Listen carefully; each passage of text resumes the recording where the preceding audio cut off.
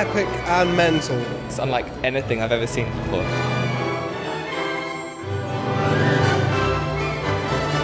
big, it's bold, it's really fun. The acting, the singing, everything was just fabulous. Yeah, it was just sumptuous, amazing.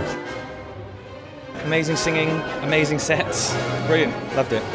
Fantastic, real spectacle. I loved the pyrotechnics and the puppets. I thought it was fantastic.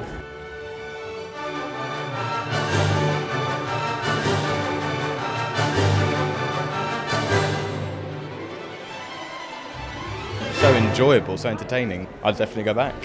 It's Terry Gilliam and it's an opera. Just go and see it.